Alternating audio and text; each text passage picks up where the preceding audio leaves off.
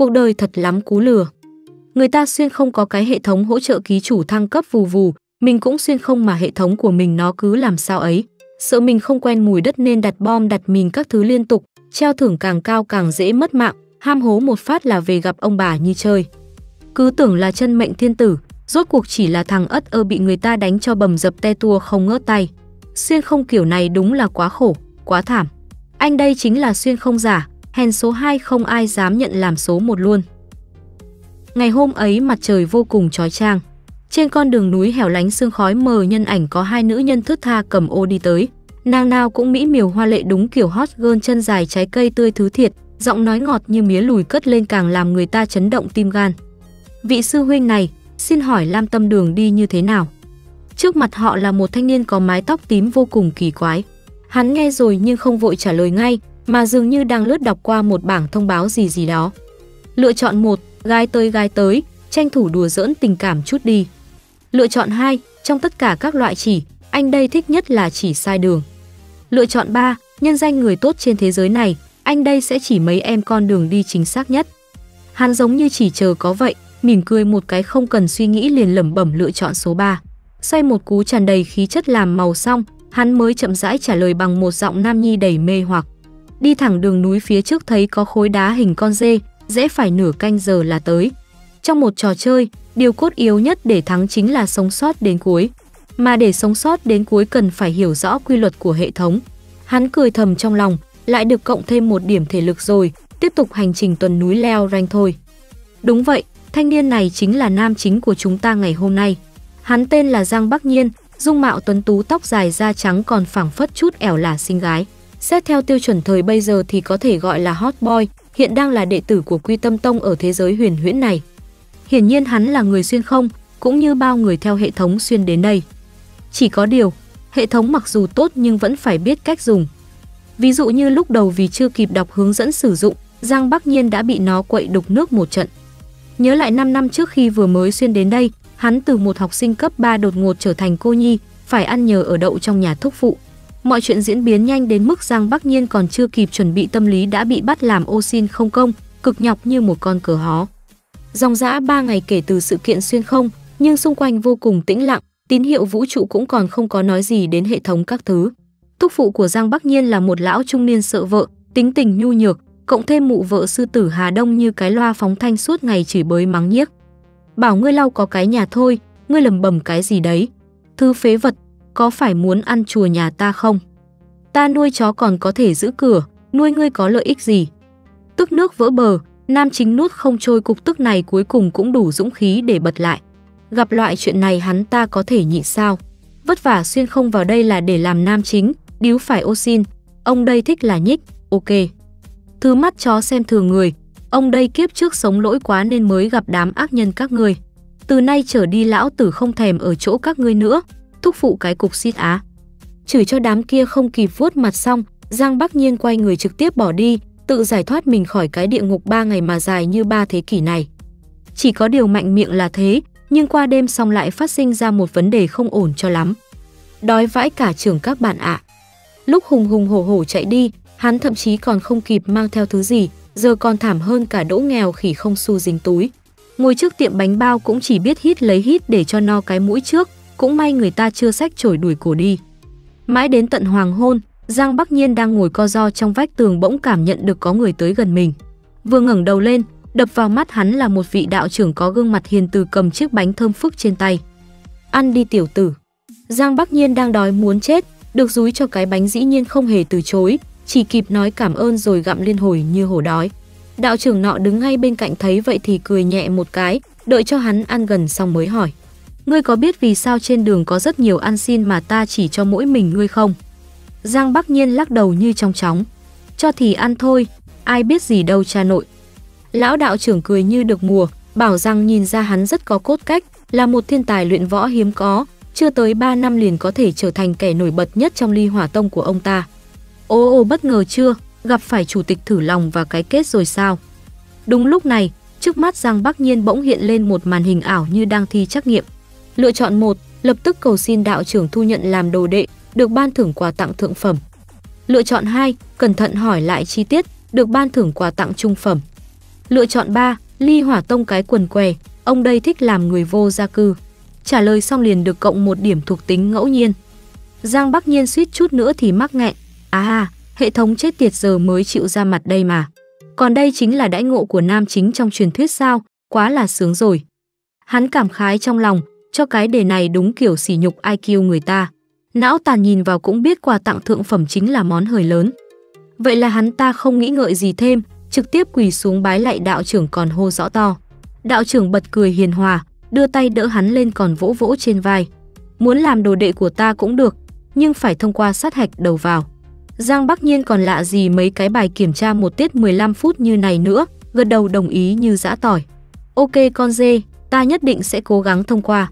Ngay sau đó, hắn tung tăng đi theo đạo trưởng như một cái đuôi. Trên đường đi, hệ thống lại hiện ra thông báo lựa chọn đã hoàn thành, trực tiếp mở ra nhiệm vụ bái sư. Giang Bắc Nhiên vừa nghi ngờ vừa ngạc nhiên. Á đù đù, không phải chọn là ban thưởng luôn sao? Xem ra không thể không làm mà đòi có ăn rồi. Dù gì mình có hệ thống chống lưng, chắc nó cũng không bịp mình đâu nhỉ. Thanh niên cùng lão đạo trưởng phượt một mạch đến tận sâu trong núi. Nơi đây gọi là Lăng Mậu Phong, được xem là trường thí luyện. Người ta nói muốn tu tiên cần phải chịu khổ, mà công việc đào mỏ vừa hay rất phù hợp để rèn luyện. Chỉ cần hắn chịu đựng được, trải qua mấy ngày thí luyện, ông ta tự khắc đến đón hắn về nhập tông môn. Mấy lời này làm khí thế trong người Giang Bắc Nhiên hừng hực bùng cháy như ngọn lửa phi phai. Sư phụ người yên tâm, ta nhất định cố gắng báo đáp ơn cứu mạng. Nói xong liền được một người đàn ông khác đưa vào trong. Nhưng sang đến ngày thứ hai, hắn tự cảm thấy có gì đó không đúng lắm. Tưởng đào mỏ dễ như game nên mấy chị gái mới làm nhiều vậy chứ, thì ra là mệt vãi linh hồn. Hắn thở hồng hộc như trâu, còn chưa kịp dựa vào tường nghỉ chút đã bị chửi xối xả vào đầu. Con gà kia ai cho ngươi nghỉ ngơi, có muốn đậu sát hạch không? Giang Bắc Nhiên thở không ra hơi, thật sự không thể tiếp tục nữa. Biết mệt như cờ hó thế này ta thả làm ăn xin ở ngoài lộ còn hơn. Hắn ngỏ ý muốn đầu hàng, chuẩn bị cáo lỗi với đạo trưởng hắn không tham gia nữa. Nhưng chưa kịp nói gì thêm đã bị người đàn ông tung cho mấy cước vào bụng đến hộc máu, túm tóc hắn lôi đi sành sệch. Còn gì nữa đâu mà khóc với sầu, bị lừa con bà nó rồi. Thằng cha già kia nào có phải đạo trưởng đạo phó gì, chỉ chuyên đi lừa mấy thanh niên nhẹ dạ cả tin bán vào trong núi làm mỏ. Giang Bắc Nhiên bị tẩn cho một trận bầm dập, khóc không thành tiếng. Ư thì mắt ông sáng dáng ông hiền, nụ cười tỏa nắng mang tiền tôi đi. Đúng lúc hắn đang bán than thì hệ thống bỗng hiện ra. Lựa chọn một, nhẫn nhịn chịu đựng làm bao cát cho người ta đánh, được thưởng địa cấp hạ phẩm.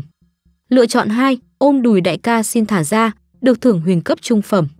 Lựa chọn 3, than thở gì nữa, đào mỏ tiếp đi, được thưởng một điểm thuộc tính ngẫu nhiên. Lần này hắn thận trọng hơn, chọn phần thưởng cao nhất có vẻ chua, nên hắn định chọn cái thứ hai. Nào ngờ vừa mới mở miệng ra cầu xin, suýt chút nữa lại bị tán sái cả quai hàm. Trong cơn đau đớn tuyệt vọng, hắn vội vã đổi lựa chọn thành số 3. Dù gì giữ cái mạng nhỏ trước vẫn hơn, đào thì mệt không đào thì chết. Vậy mà mọi chuyện lại thuận buồm xuôi gió, nhờ ngoan ngoãn nên Giang Bắc Nhiên không bị đánh nữa, cơ thể cộng một điểm thuộc tính ngay lập tức, thậm chí còn ngộ đạo ra quy luật vận hành của cái hệ thống bịp bợm. Thì ra phần thưởng càng ngon thì nhiệm vụ càng khó. Trong lúc nguy cấp chọn phần thưởng thấp nhất lại là nước đi an toàn he he. Game này đúng kiểu cú lừa thế kỷ A. Hệ thống lúc này lại tiếp tục hỏi hắn có muốn đào tẩu không. Lựa chọn 1, lợi dụng giữa trưa giám sát uống rượu để bỏ trốn, ban thưởng huyền cấp hạ phẩm. Lựa chọn 2, học tập chuột chuỗi lén lút đào đường hầm thông ra ngoài, ban thưởng hoàng cấp thượng phẩm. Lựa chọn 3, làm gì cũng phải có đồng đảng bạn bè, lôi kéo thêm người, ban thưởng hoàng cấp hạ phẩm. Lựa chọn 4, trốn con mịa gì nữa, đi ngủ lẹ đặng mai còn đào mỏ tiếp đi ông, ban thưởng một điểm thuộc tính ngẫu nhiên.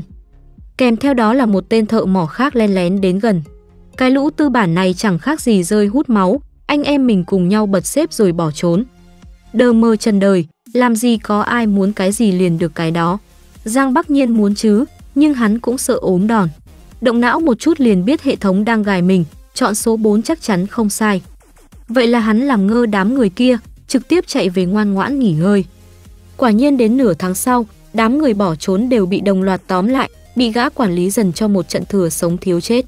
Nhìn thấy cảnh này Giang Bắc Nhiên bất chợt dùng mình. Lần đó nếu không sáng suốt sợ là hôm nay hắn chính là kẻ phải ăn cơm bệnh viện rồi. Hệ thống Papa không cho hắn phúc lợi tân thủ, nhưng có vẻ đều âm thầm đưa ra cảnh báo. Lựa chọn phần thưởng thuộc tính có giá trị hạng bét hình như trước giờ không hề sai. Đúng lúc này, trên sườn núi đột nhiên nổ một tiếng thật to. Chẳng biết có kẻ nào sắp đặt hay không, nhưng nước sôi lửa bỏng thế này mà hệ thống lại nhảy ra bắt hắn lựa chọn. Một là đứng yên tại chỗ chờ lửa rớt xuống thành con gà trụi lông. Hai là cosplay lính cứu hỏa chuyên nghiệp giúp người ta dập lửa. Còn ba chính là điều mà hắn luôn e sợ nhất, thừa cơ chạy trốn. Cũng phải nói thêm là không có bảo hiểm nên sống chết do ăn ở nhà. Giang Bắc Nhiên nhất thời ngơ ra, vãi ỏ hệ thống, tính bịp người ta sao? Đám quản lý đang vô cùng điên tiết, bây giờ bỏ trốn khác nào tự chui đầu vào dọ. Nhưng hắn vẫn cố bình tĩnh, sử dụng hết công suất cái IQ hai chữ số của mình để phân tích. Lựa chọn số 3 có phần thưởng điểm thuộc tính giá trị thấp nhất, dù hơi vô lý nhưng chiếu theo quy luật lại thuyết phục vô cùng. Giang Bắc Nhiên không có nhiều thời gian, nhân lúc đám người ùn ùn bị lùa đi dập lửa, hắn đánh liều chạy ngược dòng cố gắng thoát ra. Nào ngờ vừa tới cuối hàng đã chạm mặt một gã quản lý mặt sẹo đang cầm hàng nóng trên tay. Thôi chết, chuẩn bị lãnh cơm hộp rồi. Giang Bắc Nhiên bị gã kia quật một phát ngã sõng xoài ra đất, tiếp theo là vung đao lên chuẩn bị tiễn đi chầu Diêm Vương. Hắn nhắm chặt mắt lại, cứ nghĩ cầu nguyện dần đi là vừa rồi. Thật không ngờ vài giây trôi qua mà tay chân vẫn lành lặn, thân thể không một chút xây sức gì. Lúc này hắn mới chậm chậm mở mắt ra. Tên khọm già ác bá kia chẳng biết vì sao đã bất tỉnh nhân sự trên mặt đất. Bên cạnh đó còn có sự xuất hiện của một thanh niên khác. Mắt cũng sáng, dáng cũng hiền, mặc bộ y phục màu tím nhìn rất ra dáng công tử thế gia. Lúc này hệ thống bịp bộng không ai thèm gọi lại ló mặt ra. Lựa chọn một, a a a sợ quá sợ quá ngươi không được qua đây a, ban thưởng hoàng cấp thượng phẩm. Lựa chọn 2, mặc kệ ông cháu này là ai, tự mình chạy xuống núi, ban thưởng hoàng cấp hạ phẩm. Lựa chọn 3, đại hiệp mau cứu mạng, ta nguyện làm nô lệ suốt đời, ban thưởng một điểm kỹ nghệ ngẫu nhiên. Giang Bắc Nhiên không nghĩ ngợi nhiều, liền ôm chầm cái phao cứu mạng trước mặt. Thanh niên nọ hơi bất ngờ, nhưng nhìn hắn có chút thú vị liền ô sờ kê rồi dẫn hắn thẳng về nhà mình luôn. Lần này Giang Bắc Nhiên được đưa đến một nơi gọi là Quy Tâm Tông. Sau khi đạt phần khảo nghiệm tư chất, đại hiệp nọ nhanh chóng đưa cho hắn một cuộn tâm pháp nhập môn. Hắn dự định sẽ cày ngày cày đêm như bị dí deadline, không ngờ vừa về phòng mở ra đã thấy game là dễ. Tâm pháp như vậy mà nghe đồn rất ít người lĩnh ngộ được nó. Xem ra anh đây xứng đáng được 100 phiếu bé ngoan rồi. Hắn vô cùng vui mừng, vừa định sẽ chạy đi báo cáo để nhập môn, không ngờ hệ thống chết tiệt lại nhảy ra chặn hạo ngang. một Lập tức bung lụa làm kẻ xuất sắc nhất. 2.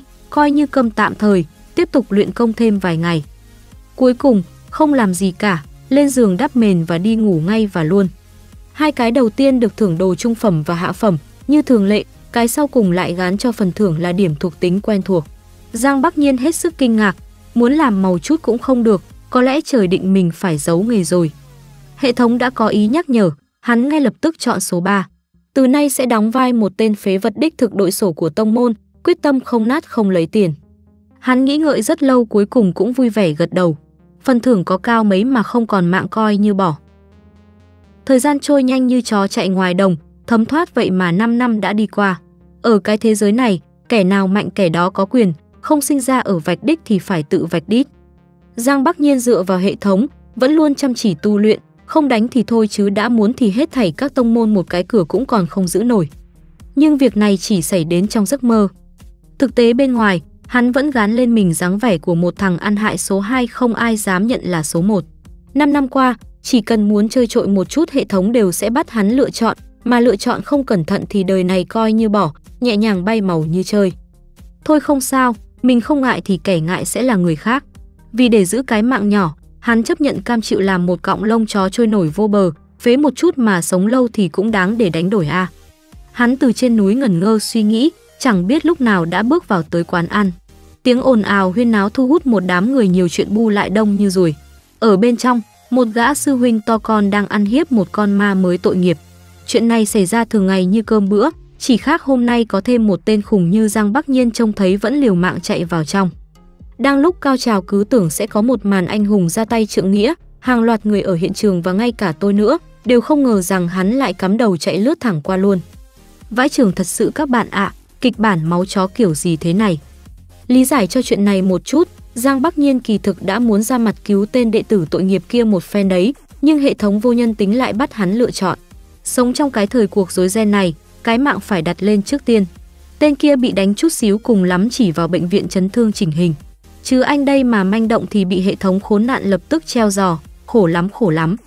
cho nên thay vì cứu tiểu sư đệ kia trực tiếp, hắn chọn cách lách luật thông minh hơn, vừa chạy vụt qua khỏi đám đông, xong xuôi lại tung tin trưởng lão đang sắp đến, vậy là đám đông dễ dàng được giải tán.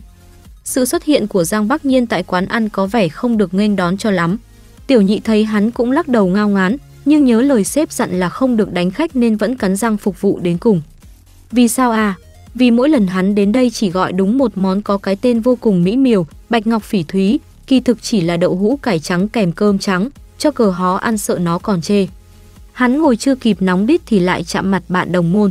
Vị lục sư huynh này chính là người đã cứu hắn ra khỏi hầm mỏ kia, cho nên quan hệ giữa hai người cũng tính là thân thiết.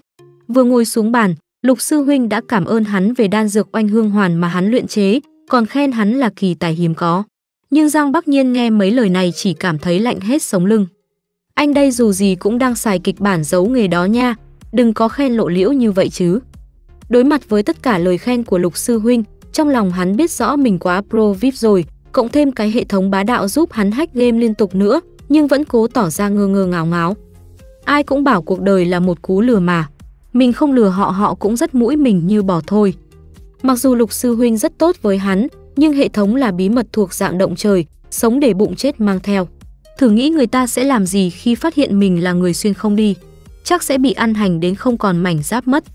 Lục sư huynh nọ cứ tưởng mình sẽ đào ra ở hắn vài chuyện hay ho, không ngờ nói vòng nói vo hắn vẫn né tránh không vào trọng điểm. Bất lực, sư huynh bèn đứng dậy hù hắn một cái phát rén. Bắc Nhiên à, thực ra ta biết bí mật của ngươi. Giang Bắc Nhiên mặc dù bên ngoài bình tĩnh như bên trong nổi sóng, nội tâm gào thét. Chết bà rồi, hắn biết rồi sao? Làm sao hắn biết? Hắn chống cầm lên đồng thời lau vội mấy giọt mồ hôi lạnh trên đầu, cùng lúc bị lục sư huynh ghé vào tai. Có phải lúc ở hầm mỏ ngươi đã nhặt được cơ duyên gì đó hay hay không? Giang Bắc Nhiên dùng hết cả mình, thằng cha này là tiên tri vũ trụ trần dần hay sao mà phán đúng dữ. Nhưng may quá, xem ra hắn cũng chỉ mới nghi ngờ có thế. Lục sư huynh liên tục đề cập với hắn chuyện nếu muốn có thể điều chuyển hắn sang vị trí khác thuận lợi tu luyện hơn. Bỏ lỡ tài năng vốn dĩ là không nên, nhưng Giang Bắc Nhiên tự nhận hắn tuổi nhỏ vô tri, sư huynh cũng không còn cách nào. Thực sự hắn muốn khóc trong lòng nhiều chút, hệ thống Papa có ý định chèn ép rõ ràng như vậy, không cho hắn đường tiến thân. Hắn như con heo nằm trên thớt, không ngoan ngoãn giấu nghề thì còn cách nào khác sao. Trang thanh gió mát, hắn mang cái tâm trạng dối bời như nồi cháo heo của mình quay về. Nào ngờ lại đụng mặt một tiểu mỹ nhân, nàng ta có vẻ đã đứng đây từ chiều. Liễu tử câm của Thủy Kính Đường, bái kiến Giang Sư Huynh. Giang Bắc Nhiên hơi ngớ người, nhưng phàm gái nào quá đẹp thường rất nguy hiểm a. Ông bà đã dạy rồi cấm có sai, vậy là hắn cúi người đáp lễ. Nhậm nhầm người rồi bà nội ơi, anh đây họ vương cơ. Nói xong liền ngoảy mông bỏ đi, nào ngờ từ đâu xuất hiện một ông đồng nghiệp lao vào phá game chạy đến gọi to như sợ không ai nghe thấy. Giang sư huynh, trình lễ đường gọi ngươi. Đúng là không sợ kẻ địch mạnh như hổ, chỉ sợ đồng đội ngu như bò. Giang Bắc Nhiên bất lực đứng nhìn tiểu sư đệ chưa trải sự đời của mình liên tục xác nhận với nữ nhân kia về thân phận của hắn. Không nghĩ một ngày mình phải rơi vào cảnh giấu đầu lòi nguyên con thế này. Hắn quay sang giả bộ cười khà khà, đùa chút cho vui thôi mà, anh em từ từ bình tĩnh đừng có nóng. Biết mình không thoát khỏi ải này, Giang Bắc Nhiên xoay người đáp lại tiểu sư đệ. Ngươi nói với Trình Lễ Đường một tiếng, ta sẽ tới ngay. Sau khi báo thủ kia rời đi, hắn mới tiếp tục giả lả với Liễu Tử Câm. Rồi đó, tôi là Giang sư huynh nè bà nội, muốn gạ tôi hay gì? Liễu Tử Câm xinh đẹp động lòng người lúc này vô cùng cung kính đáp. Ba ngày sau là lần thí luyện dưới núi đầu tiên của chúng ta, ta muốn mời sư huynh làm thiết ấn. Nàng vừa dứt lời, trước mặt Giang Bắc Nhiên liền nhảy ra ba lựa chọn. một Việc nhỏ như con kiến, dĩ nhiên không thành vấn đề, ban thưởng địa cấp trung phẩm. 2. Tỏ vẻ quan tâm không biết sư muội đây nhận được nhiệm vụ thí luyện thế nào, ban thưởng huyền cấp thượng phẩm. 3. Nhà bao việc, xin phép cáo từ, ban thưởng một điểm cơ sở ngẫu nhiên. Mặc dù thân là đàn ông, nhìn thấy mỹ nữ thì mặt mày sáng trưng, nhưng vừa nghe đến địa cấp trung phẩm phần thưởng lớn như vậy thì Giang Bắc Nhiên trợn muốn lòi luôn con mắt, không ổn không ổn rồi. Hắn bật chế độ nhạt như nước ốc, ngay lập tức từ chối liễu tử câm rồi chuẩn bị phóng Chả hiểu sao nàng ta trông thấy cảnh đó như bị trúng tiếng sét ái tình. Từ nhỏ đến lớn bà đây chưa bị ai cự tuyệt bao giờ, vị sư huynh này thật là thú vị. Nhìn thấy Bắc Nhiên bỏ chạy, Tử Câm vội vắt chân lên cổ đuổi theo sau. Đúng lúc này thì xuất hiện thêm một vị sư muội khác ở đâu nhào ra, tên là Thu Giao. Nàng ta chưa kịp hiểu gì giáo, chỉ thấy sư tỷ đuổi theo nam nhân thì nghĩ ngay là bị lừa tình. Vậy là máu dồn lên não, trực tiếp cầm hàng nóng nhào tới. Không hổ danh là sư muội có thể dẫn đến phát thưởng trung cấp, ngay cả chuồn đi cũng vô cùng khó khăn. Giang Bắc Nhiên vội nghiêng người tránh né, xém chút nữa là đi bán muối rồi. Cũng may Liễu Tử Câm nhanh nhẹn chạy tới lên tiếng giải thích mới thoát được kiếp nạn này. Trận rượt đuổi cực kỳ ồn ào này thu hút khá đông huynh đệ Lam Tâm Đường tụ tập lại hóng chuyện. Chỉ thấy mỹ nữ chân dài Liễu Tử Câm nghiêng mình trước hắn vô cùng kính cẩn, làm đám hào kiệt qua đường kia ai nấy vừa ghen tị vừa bực mình. Giang Bắc Nhiên rủa thầm trong lòng, tình cảnh này cũng thật khó xử. Hắn vừa mở miệng một cái đã bị Thu Giao đứng bên cạnh mỉa mai hắn vì nhát cái sợ sệt nên mới cật lực từ chối. Lời nàng ta vừa dứt, hệ thống khốn nạn lại ngay lập tức nhảy ra ba lựa chọn. Lựa chọn 1, hồ đồ, lão tử sao có thể sợ, ban thưởng địa cấp hạ phẩm. Lựa chọn 2, ta thừa biết sư muội đang dùng kế khích tướng, đáng tiếc không có tác dụng với ta, ban thưởng huyền cấp trung phẩm. Lựa chọn 3, đờ mờ sao muội biết hay vậy, bảo bối rất là sợ hãi nha, ban thưởng một điểm thuộc tính ngẫu nhiên. Giang Bắc Nhiên siết chặt nắm tay, cay không chịu nổi. Tuyệt con mẹ nó vời, ta thà nhục mà sống còn hơn vinh mà chết. Hắn thật sự phải cosplay thành kẻ hèn, hèn đến nổi khóc không ra nước mắt. Quả quyết lựa chọn số 3, hắn vừa nghiến răng vừa gật đầu. Sư muội nói đúng vãi trưởng luôn á. Khóe miệng Phương Thu Giao giật giật như muốn chửi thề.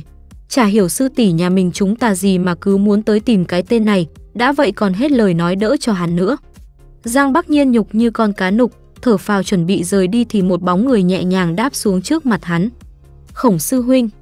Nghe tiếng gọi của Liễu Tử Câm, đám quần chúng ăn dưa bên ngoài trở nên xôn xao. Gã này có nickname là Phá Quân Thương, Khổng An Nam, 3 năm trước vì bảo hộ bách tính mà một mình tiến vào loạn quân, chỉ có một từ để mô tả chính là uy vũ bất phàm. Hắn đánh hơi thấy hai tiểu sư muội đang muốn tìm thiết ấn nên mới mò tới đây, cũng nghĩ với hào quang của mình thì hai tiểu sư muội kia sẽ gật đầu lia lịa như bị thao túng tâm lý.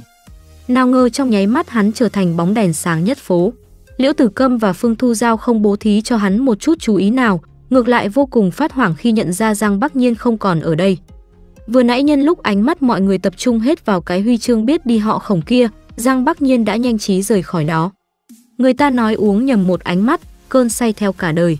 Sư muội Liễu Tử Câm sau khi chạm mặt Giang Bắc Nhiên thì vô cùng lưu luyến, đến nỗi nửa đêm ôm đàn tỳ bà ra ngoài hồ ngồi gảy tưng tưng. Tiếng đàn ủy khuất như này chứng tỏ đã động tình rồi phải không? Vừa quay người nhìn lại, nàng đã thấy sư phụ mình đứng lặng lẽ ở đó. Đồ nhi lớn biết tương tư người khác rồi, nhìn tiểu bảo bối của mình xoắn quẩy lên, sư phụ vô cùng chạnh lòng, đúng là tấm chiếu mới. Thế là ngay ngày hôm sau, vị sư phụ này trực tiếp đi thẳng qua nhà hàng xóm Lam Tâm Đường để điều tra cho ra lẽ. Lúc này, Giang Bắc Nhiên mới ngủ dậy, ra ngoài vươn vai hô tay múa chân như thằng áo. Ai ra chết tiệt, sao bưởi nhỏ đi bưởi lớn lại tới rồi, hai ngày nay cũng thật là náo nhiệt. Đánh hơi có mùi không ổn, hắn xoay người dự định đánh bài chuồn, nhưng bị vị sư phụ kia nhanh chóng gọi giật lại rồi hỏi một câu vô cùng kinh điển. Ngươi có biết ta là ai không? Trần đời chưa thấy ai vô duyên vậy luôn, Giang Bắc Nhiên tự cảm khái trong lòng, hệ thống còn phụ họa thêm cho hắn vài câu trả lời rất chi là đúng lúc. Lựa chọn 1, đệ tử không biết, ban thưởng huyền cấp hạ phẩm. Lựa chọn 2, ta đoán người hẳn là vu hộ pháp, ban thưởng hoàng cấp trung phẩm. Lựa chọn 3, phong thái chắc tuyệt như vậy, tìm mỏi cả mắt ở Quy Tâm Tông này chỉ có duy nhất vu hộ pháp của Thủy Kính Đường. Người là thứ hai thì không ai là chủ nhật hết, vẫn như cũ, ban thưởng một điểm thuộc tính ngẫu nhiên. Địch, cái hệ thống này miệng có bôi mật sao, nịnh hót cũng ngọt như vậy. Giang Bắc Nhiên theo thói quen chọn thẳng số 3. Thái độ cung kính của hắn khiến vu hộ pháp kia vô cùng sừng sốt. Tên này có vẻ mồm mép lanh lẹ chẳng giống học sinh rốt. Miệng lưỡi kiểu này bảo sao gái nào không mê. Giang Bắc Nhiên được nước khen tới tấp, khiến bà cô nọ cũng cảm thấy mát hết cả lòng mề. Bà ta nghĩ đến chuyện hắn đã nhập môn 5 năm vẫn nổi danh não tàn phế vật, bèn bắt hắn giơ tay ra để test chút tu vi. Quả nhiên chỉ là luyện khí cấp 5. Người bình thường chỉ cần thông qua kiểm tra thiên phú nhập môn, dù tư chất hơi kém nhưng sau một năm chăm chỉ cũng đủ để đột phá lên mười mấy tầng. Nhưng Giang Bắc Nhiên đã ở cái quy tâm tông dòng dã 5 năm, kết quả đội sổ này chỉ có thể là phế vật hơn cả phế vật. Vu lão sư tặc lưỡi tiếc rẻ, còn Giang Bắc Nhiên chỉ cảm thấy nhẹ nhõm vô cùng, trong lòng đánh trống rộn ràng như chảy hội. Hắn khó khăn lắm mới làm người ta tin mình thực sự là heo mọn, đóng tròn vai hơn phải kèm thêm topping là mấy giọt nước mắt. Hu hu hu, có thể gia nhập vào tông môn, đệ tử đã thỏa mãn lắm rồi. Tiếng khóc ai oán này của hắn khiến người khác đứt từng đoạn ruột. Vu lão sư giống như mấy bà cô giáo ngữ văn, một chiếc lá rơi cũng trở nên cảm động, huống hồ là nhìn thấy đàn ông con trai như hắn rơi lệ. Quá thảm, đứa nhỏ này không biết đã trải qua bao nhiêu khổ ải. Ở cái thế giới cá lớn nuốt vội cá bé, không có tu vi cao làm sao mà sống. Vu lão sư thiếu chút nữa là tốc biến ra tạp hóa mua mấy chục thùng khăn giấy. Chùi vội nước mắt xong, bà ta quay sang đổi một thái độ nghiêm túc hơn. Mặc dù Giang Bắc Nhiên là tên đội sổ nhưng không có đúc lớp, hắn vẫn là bậc đàn anh đàn chị trên núi này. Cho nên chuyện làm thiết ấn xuống núi cùng các sư đệ muội trước giờ không phải là chưa từng xảy ra. Điều kỳ lạ là, lần nào hắn dẫn đoàn đi tour cũng bảo đảm an toàn tuyệt đối. Thân là một bà cô chủ nhiệm, Vu lão sư cũng rất chú ý đến vấn đề này. Cũng không có gì, đệ tử tự biết bản thân mình ngu dốt nên chỉ chú ý cẩn thận nhiều hơn người khác. Vu hộ pháp nghe hắn đối đáp thông minh bất giác mỉm cười. Nói hay lắm, vì để biểu đạt sự tín nhiệm của ta, bổn hộ pháp quyết định cho ngươi làm thiết ấn hộ tống đồ đệ ta yêu thương nhất xuống núi, giúp nàng ấy hoàn thành nhiệm vụ thí luyện đầu tiên. Giang Bắc Nhiên theo quán tính gật đầu. Đệ tử cẩn tuân, tuân, cái gì vậy má? Á, kịch bản này hình như không đúng nha, rõ ràng hắn đã cẩn thận chọn số 3 an toàn nhất, sao cuối cùng vẫn lọt hố thế này? Làm thiết ấn cho Liễu Tử Câm thì tối hôm qua, những gì hắn cật lực từ chối cùng một hình tượng hèn hơn mấy phần đó đều vứt cho chó gặm sao. Giang Bắc Nhiên cứng đờ cả họng, nhất thời không biết phải làm gì tiếp theo, hệ thống lại đúng lúc xuất hiện để giải vây. Lựa chọn 1 giờ 18 phút đời nhà con cảm tạ Vu hộ pháp đã tín nhiệm, nhưng gần đây đệ tử thật sự có chuyện quan trọng không thể rời khỏi tông môn. Lựa chọn 2, không phải không chịu mà là không muốn đi đấy, bà làm gì tôi. Lựa chọn 3, đệ tử cảm kích không ngớt, chỉ là hơi bất ngờ vì đột ngột được yêu thương. Và cũng giống như mọi lần kiểm tra một tiết trên lớp, lúc nào thấy bí liền lụi câu C. Mặc dù cảm thấy có gì đó sai sai nhưng hắn vẫn nhắm mắt nhắm mũi chọn số 3, có phần thưởng là một điểm kỹ năng quen thuộc. Bút sa gà xối mỡ, Vu lão sư chỉ chờ có thế xem như hắn đã đồng ý, liền hẹn hắn hai ngày sau đến chấp pháp đường nhận job. Ứng tuyển kiểu này cũng gượng ép quá đi. Sở dĩ lần này Giang Bắc Nhiên cẩn thận hơn là vì hệ thống kia càng ra để càng khốn nạn. Hắn sợ mình sẽ vô tình rơi vào bẫy nào đó. Mà đi thiết ấn với nữ đệ tử như Liễu Tử Câm lại càng dễ đe dọa đến tính mạng.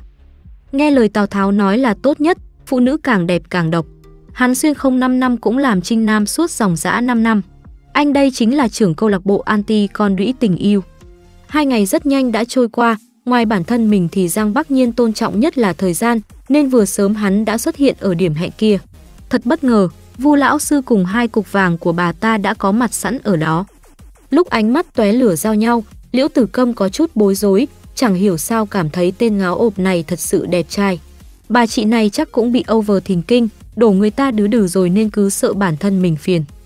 Thì ra đây chính là cảm giác bị người khác chán ghét sao, khó chịu quá ư ư ư. Khác với Liễu Tử Câm, Phương Thu Giao có vẻ lạnh như băng, chỉ chắp tay chào một cái vô cùng qua loa, nhưng vẫn không giấu được vẻ kinh tâm động phách. Vu lão sư vô cùng hài lòng, nói đoạn lại phất tay áo gọi ra thêm một mớ đệ tử. What the fuck, còn nữa sao? Phải biết rằng hai bà cô đằng này đã đủ nhức nhức cái đầu rồi, đằng đó còn rộn ràng chạy tới thêm ba cô nương tướng mạo y như đúc. Giang Bắc Nhiên ngây người ra như phỗng. Thủy kính đường, ngu quy thủy, ngu quy thủy, ngu quy miểu, bái kiến Giang sư huynh. Vãi cả trưởng, thì ra là sinh ba, vậy là nguy hiểm lại nhân ba, đậu xanh rau má sữa hột gà thiệt chứ. Bắc Nhiên, lần này vất vả cho ngươi rồi, thủy kính đường chúng ta nhiều nữ đệ tử, cần một vị sư huynh đáng tin cậy như ngươi. Giang Bắc Nhiên nghe xong cảm thấy cuộc sống mình sắp không ổn rồi. Nói vậy là sắp tới hắn phải gánh còng lưng cái sắp nhỏ này, còn trở thành MC bất đắc dĩ cho chuyên mục giải đáp 10 vạn câu hỏi vì sao nữa.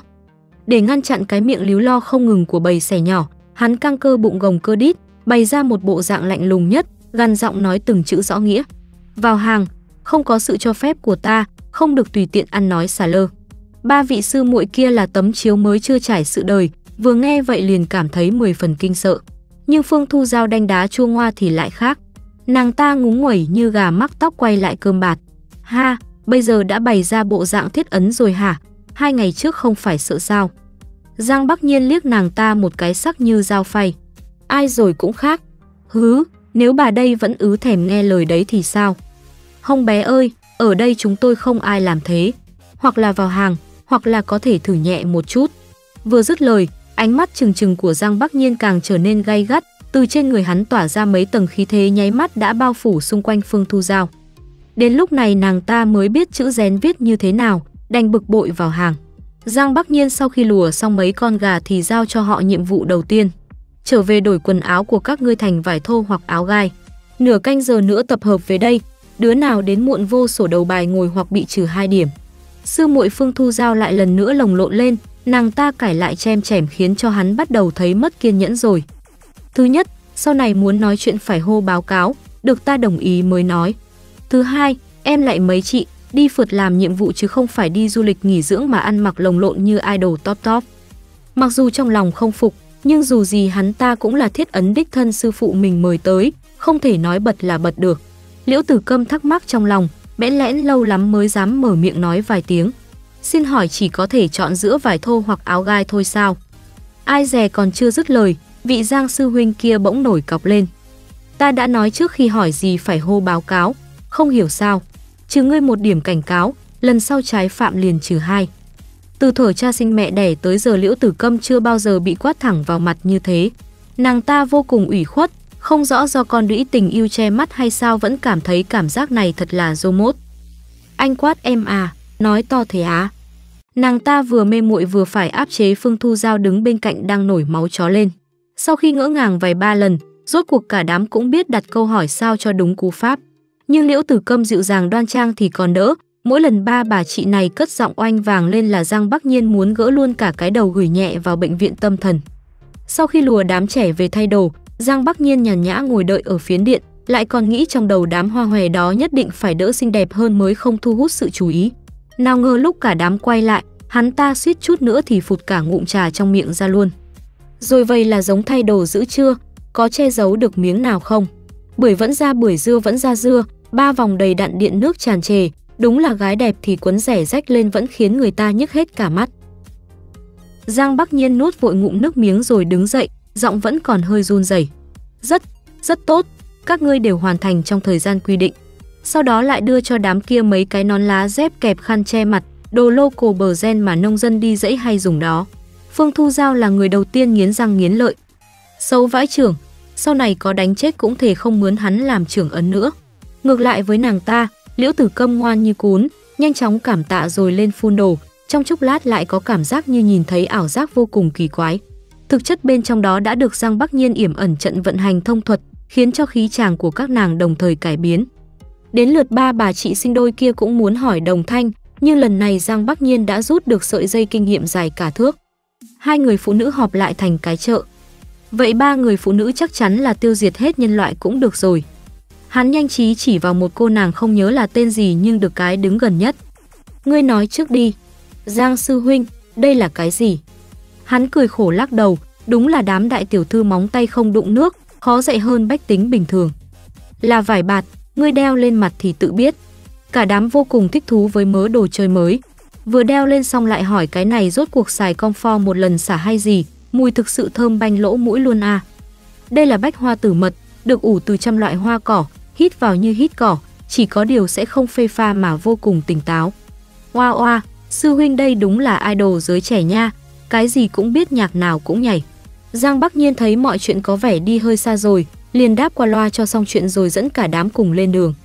Vừa đi được hơn trăm bước, cả bọn lại chạm mặt một thanh niên khác. Ông anh này là Tần Mục Nguyên, vai trò giống như thầy quản sự vậy đó, chịu trách nhiệm ban bố nhiệm vụ thí luyện.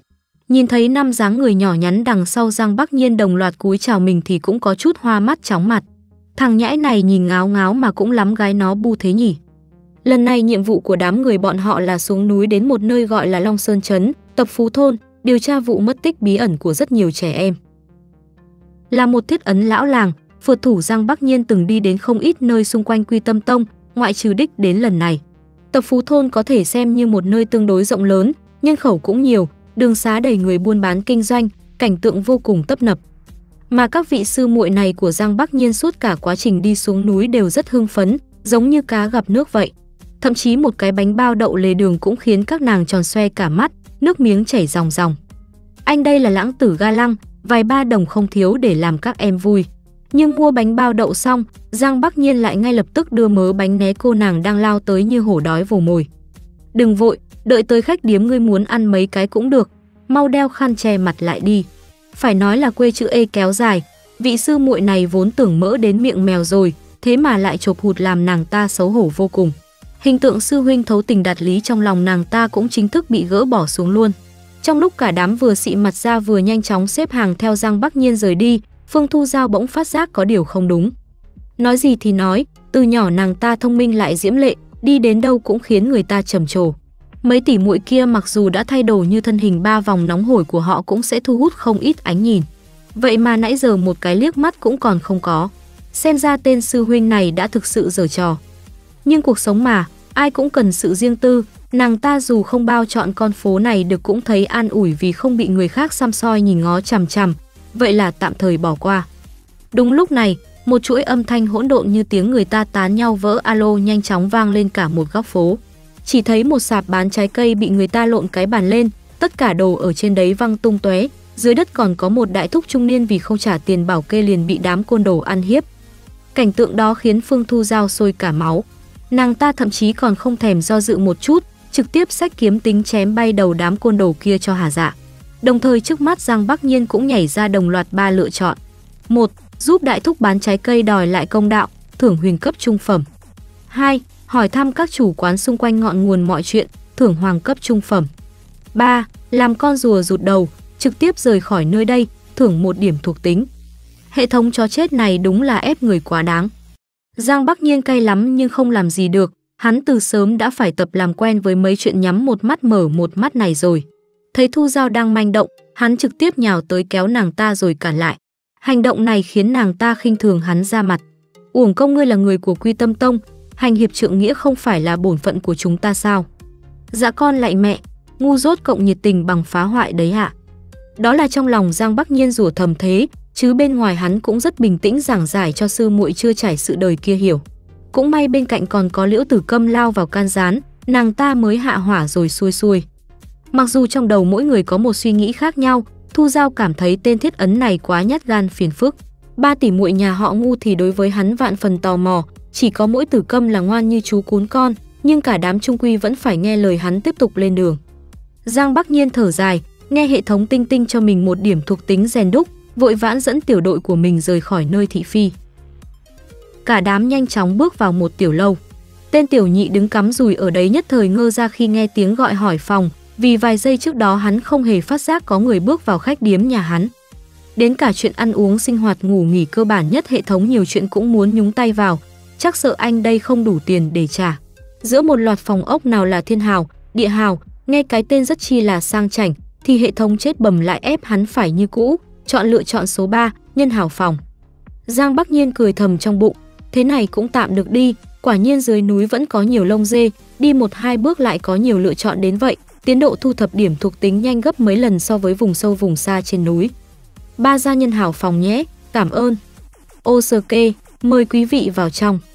Tiếng kéo kẹt rợn da gà bắt đầu vang lên khi tiểu nhị mở tung cánh cửa. Bên trong là một gian phòng còn hơn chữ đơn sơ nữa, mà cụ thể chính là tồi tàn hết chỗ nói. Chính bản thân Giang Bắc Nhiên khi nhìn thấy cũng phải ngao ngán vì cơ sở vật chất xuống cấp tệ quá, nhưng hệ thống lại một lần nữa nhảy ta. Lựa chọn một, phàn nàn rồi kêu tiểu nhị rời đi, thưởng hoàng cấp thiên phẩm. Lựa chọn 2, tiền boa cho tiểu nhị 5 đồng, ban thưởng một điểm thuộc tính. Cái gì gọi là bình đẳng, vừa mất tiền vừa mất mặt với gái, lại còn phải boa cho cái tên này á, tức chết anh đây rồi. Hắn miễn cưỡng nặn ra một nụ cười công nghiệp, xoay cái lưng cứng ngắc của mình lại trao cho tiểu nhị đúng 5 đồng trong ánh mắt ngơ ngác của một số người. Thôi không sao, giữ mạng quan trọng, giữ mạng quan trọng, giữ mạng quan trọng, chuyện nào quan trọng phải nhắc lại ba lần.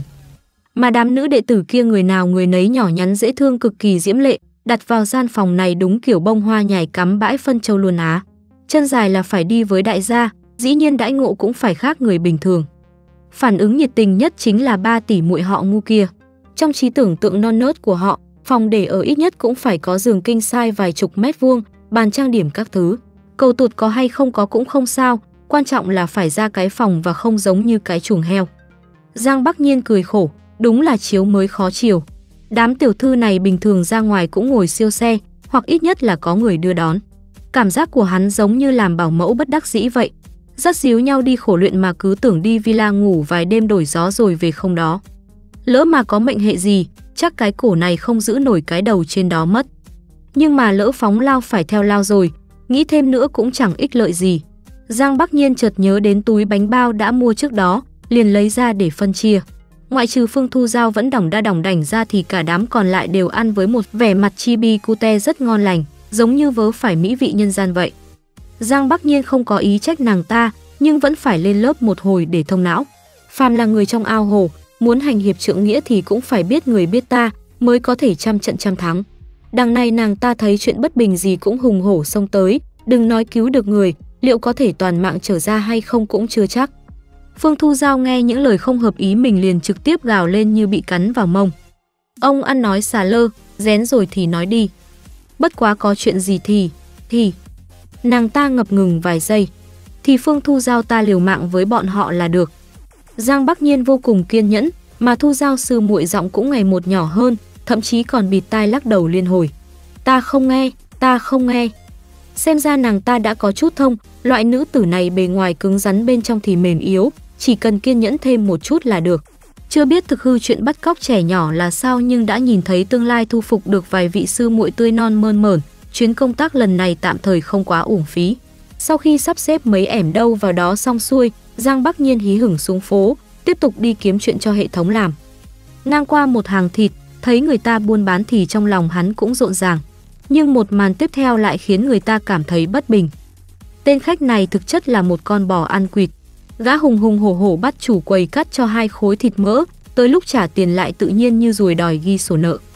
Nhìn qua là biết chẳng phải thể loại tốt đẹp gì rồi. Ông chủ quầy cũng tinh tế nhắc khéo, nhưng chỉ cần gã quay lại chừng nhẹ mắt một cái cũng đủ khiến ông ta sợ sun hết cả vòi ngậm miệng lại luôn. Tình huống đậm chất giáo dục công dân này thành công đánh thức hệ thống. Lựa chọn 1, giúp ông chủ hàng thịt đòi lại công đạo, thưởng hoàng cấp thượng phẩm. Lựa chọn 2, mơ thầm ra tay cho tên kia một trận, thưởng hoàng cấp trung phẩm. Lựa chọn 3, người qua đường ăn dưa, không làm gì cả, thưởng một điểm thuộc tính ngẫu nhiên. Giang Bắc Nhiên thở dài, lại phải cosplay trưởng câu lạc bộ hội người hèn xuyên không rồi.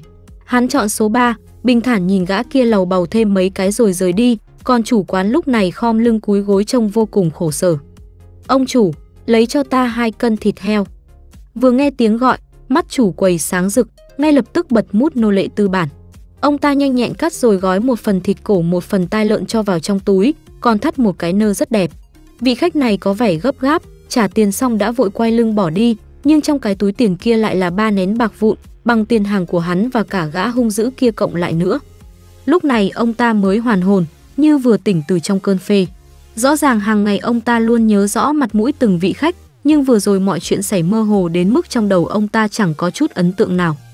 Giữa ban ngày ban mặt, nếu không phải gặp quỷ thì chính là gặp thần tiên rồi. Về phần Giang Bắc Nhiên, lúc này hắn đang cảm thấy vô cùng nhẹ nhõm, vì không chỉ giúp được người mà hệ thống có vẻ còn nhắm một mắt mở một mắt cho qua. Hắn cứ vậy đi nhặt điểm mãi, cho đến hai canh giờ sau mới quay về quán trọ. Tính sơ sơ cả ngày nay hệ thống cũng tung ra được 10 lần trắc nghiệm rồi, thật là hào phóng. Cảm giác buồn ngủ nhanh chóng ập tới, hắn cũng dự định sẽ đi đánh một giấc trước, ngày mai lại tiếp tục công cuộc săn điểm, vậy mà hệ thống vẫn không tha.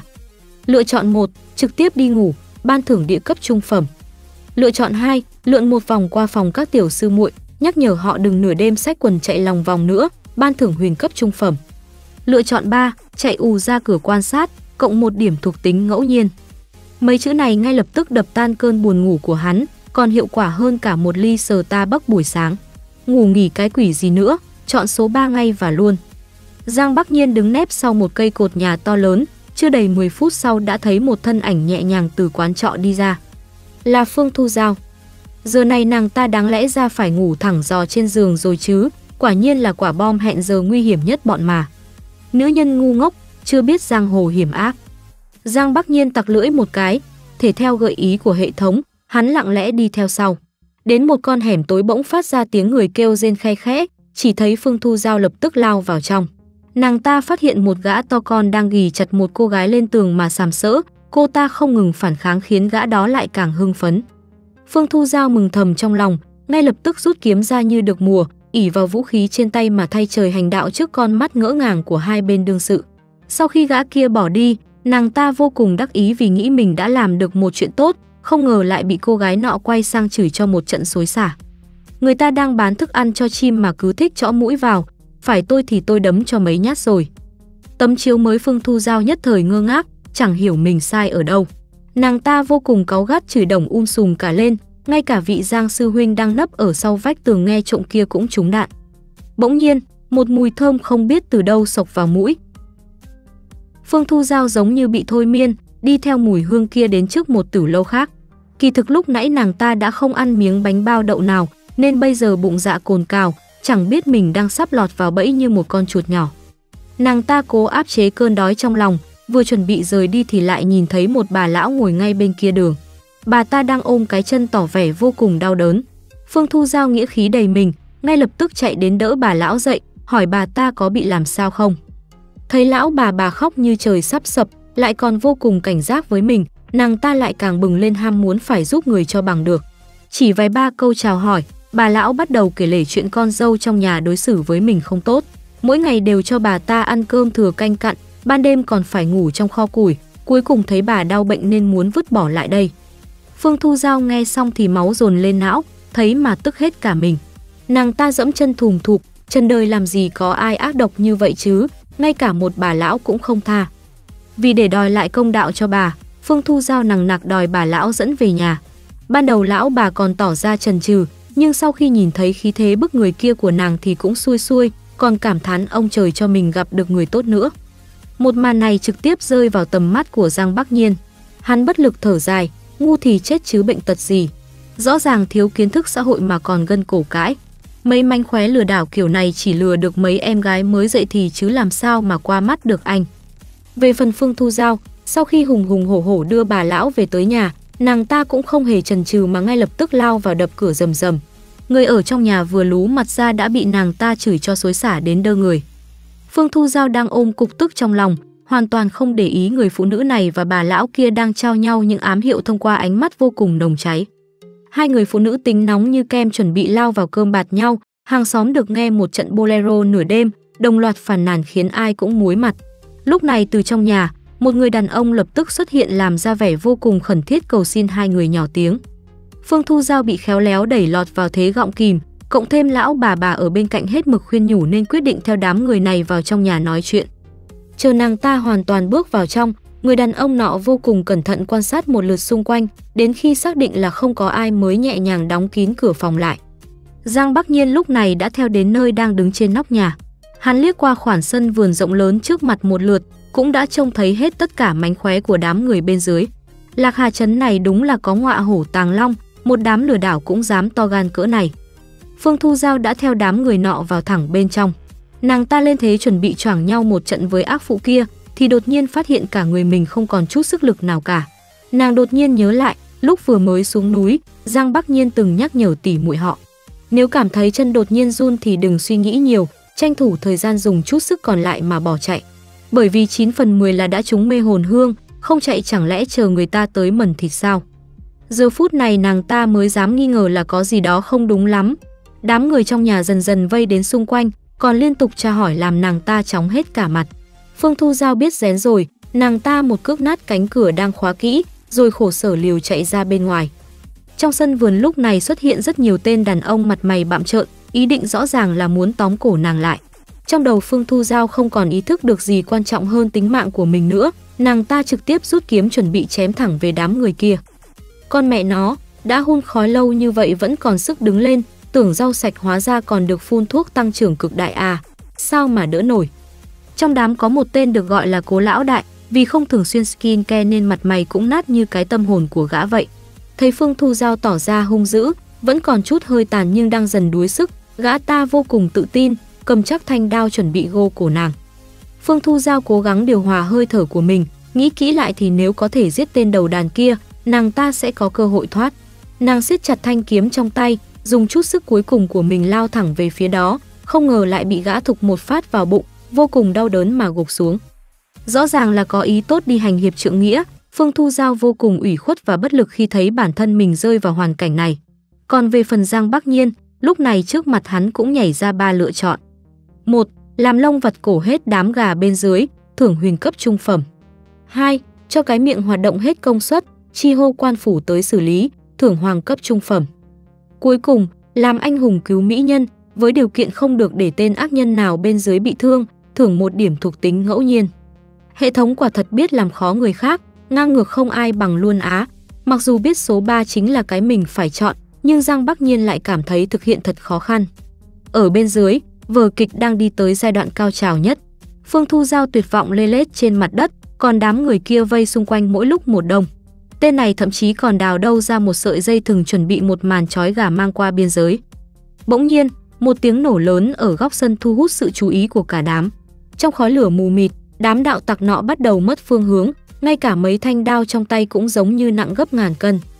Tên đầu sỏ thấy tình hình không khả quan, gã bắt đầu lẩm bẩm mấy câu thần chú tự giới thiệu background. Tại hạ là Cố Lâu Thanh, đường chủ của Hoàng Bang. Không biết đã mạo phạm cao nhân phương nào mà phải chặn đường kiếm ăn của chúng ta. Gã chỉ mới vừa dứt lời, trong nháy mắt khói bụi đều tan, ngay cả Phương Thu Giao cũng giống như là bốc hơi chẳng thấy đâu nữa. Nhưng Cố Lâu Thanh không mảy may để ý gì, chỉ quát đám đàn em mình có lẽ đã đụng phải kẻ không nên đụng. Với bản lĩnh cướp người ngay trước mắt chúng như vậy, kẻ này phải thuộc hàng cao nhân chứ không phải tầm thường. Phương Thu Giao thoát được một trận đại kiếp, hiện giờ đang yên ổn nằm trên vai Giang Bắc Nhiên. Nàng ta trong lòng vô cùng ái náy, càng xấu hổ gấp chục lần khi nghĩ đến cái nết của mình lúc trước, cuối cùng cũng đủ dũng khí để nói một tiếng xin lỗi với Giang Sư Huynh. Qua một cơn ác mộng dài, Phương Thu Giao một lần nữa choàng tỉnh, lại thấy mình đang nằm trong chăn ấm nệm êm, Liễu Tử Câm ngồi ngay bên cạnh làm nàng ta không kìm được mà òa khóc. Giang Bắc Nhiên nghe động tĩnh cũng từ ngoài đi vào, nhẹ nhàng tiến đến bên giường bắt mạch. May mắn chỉ là chúng độc mê hương bình thường, Giang Bắc Nhiên bình thản đưa cho nàng một viên thanh tâm đan rồi dặn nàng ta tranh thủ nghỉ ngơi. Phương Thu Giao lúc này như trẻ con mắc lỗi, bẽn lẽn không dám ngẩng mặt lên, lại chẳng hiểu vì sao mà cảm thấy Giang sư huynh kia vô cùng đẹp trai. Kẻ tàn ác thường được sống thành thơi, trong trường hợp này thì hệ thống chính là thứ tàn ác nhất. Hình tượng lạnh lùng của Giang Bắc Nhiên chưa giữ được bao lâu thì trước mặt lại nhảy ra ba lựa chọn vô cùng khốn nạn. Lựa chọn một, không sao không sao, mọi chuyện đều đã qua, anh đây là kẻ rộng lượng không chấp nhặt con nít. Lựa chọn 2, biết sai chịu sửa không gì quý bằng, hiện tại đã biết anh đây thông minh chưa? Lựa chọn 3, xin lỗi cái quần hòe, ngươi cho rằng ta là người qua đường vô tình đi ngang sao? Ông đây đã phải theo dõi ngươi rất lâu, nhưng muốn để cho ngươi nếm trải chút đau khổ nên mới không ra mặt ngay từ đầu đấy. Giang Bắc Nhiên nghiến răng ken két, chọn số 3. Từng từ nói ra giống như sát ớt lên mặt mình vậy, cay vãi trưởng. Nói xong hắn cũng chẳng ở lại lâu mà tranh thủ chuồn lẹ, để lại Phương Thu Giao đang hoang mang các kiểu con đà điểu. Nàng ta cảm thấy bản thân mình đáng ghét vô cùng, nếu đem so sánh với sao quả tạ thì cũng không hề oan ức. Cũng may có liễu tử câm ở bên liên tục khuyên giải, nàng ta mới chịu uống thuốc rồi yên tĩnh một chút. Trong mắt Phương Thu Giao bây giờ, vị Giang sư huynh kia giống như cái giếng sâu không thấy đáy, có vẻ vô cùng bá đạo nhưng lại luôn khoác lên mình bộ mặt ngu ngốc như chẳng hề biết gì. Vừa vặn hai canh giờ sau, cả đám được tụ họp lại để bắt đầu xuất phát điều tra. Giang Bắc Nhiên cùng các sư muội vừa bước ra khỏi cửa thì có một gã đàn ông khác hùng hùng hổ hổ xông vào nhà trọ. Gã đi thẳng đến quầy túm lấy tên tiểu nhị hỏi chuyện. Sau khi nghe tiểu nhị nói gần đây có 6 vị khách nhân cử chỉ đáng ngờ, đi ra đường lúc nào cũng đội mũ rơm, gã này nhận ra ngay họ chính là người cần tìm. Nhưng có hỏi sao thì tiểu nhị kia cũng chỉ lắc đầu bảo rằng không nhớ rõ dáng dấp chứ đừng nói là mặt mũi. Xem ra 6 vị khách nhân này đã dùng trận pháp gì đó che mắt người bình thường. Tiểu nhị vừa đổ mồ hôi hột trước sự tra hỏi, vừa vỗ đùi đen đét như nhớ ra điều gì. Thì ra hắn chính là tên tiểu nhị hôm nọ được Giang Bắc Nhiên thưởng cho mấy đồng tiền. Hắn vẫn luôn tiếc không dám xài, không ngờ trên đó còn dính cả trận pháp Giang Bắc Nhiên yểm lên. Gã đàn ông kia sau khi cầm được đồng tiền trên tay thì rất nhanh đã nhận ra điểm mấu chốt. Đám người Giang Bắc Nhiên và các sư muội lúc bấy giờ đã tốc biến được một đoạn khá xa. Mấy tiểu cô nương con nhà thế gia này vốn dĩ từ nhỏ không cần động đến ngón tay, ngay cả xài Google Maps cũng không tinh thông, cuối cùng bị chị Google dẫn đi xa bờ. Đã nhiệt tình cộng ngây ngô thì chớ, đằng này còn mù đường. Thiết nghĩ mấy bà chị này mà lỡ đi lạc qua Đông Lào, lạc vô hẻm mấy chục xẹt ở Sài Gòn chắc chỉ có khóc hết nước mắt. Mặc kệ sự đời, Giang sư huynh của chúng ta vẫn đang vô cùng nhàn nhã ngồi trên tảng đá ngắm trời mây kèm uống nước giải khát. Vốn từ lúc đầu hắn đã nói với đám sư muội, do mép là một kỹ năng sinh tồn vô cùng cần thiết. Nhưng ai mà ngờ mấy bà chị này lại phế đến vậy chứ. Cả đám mò hết nửa ngày trời cũng không ra con đường, cuối cùng có ý định lần nữa mặt dày đi hỏi giám thị họ Giang kia gợi ý cho.